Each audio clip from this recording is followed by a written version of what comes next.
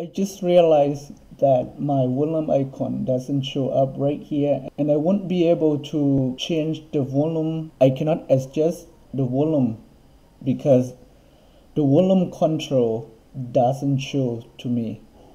So if anyone ever have a problem like this when you're using this configs, that will be a very very easy to fix this problem. I want you to open up the terminal by press the mod key enter. And then you type in sudo let me zoom in so you guys can see. Okay that look a little bit better.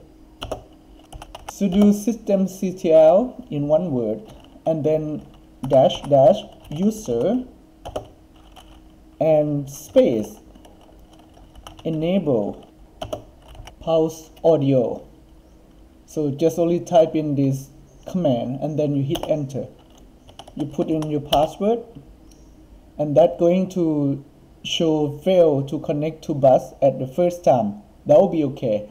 Now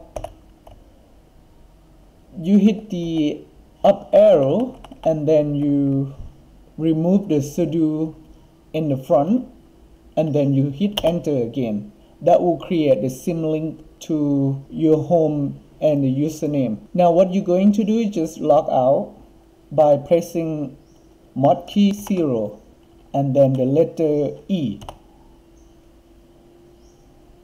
And now put your password in again and hit enter. So when you log in again that your volume control is coming back and now you can adjust the volume. If you're using this configs after the 1st of April 2021 this problem is already solved.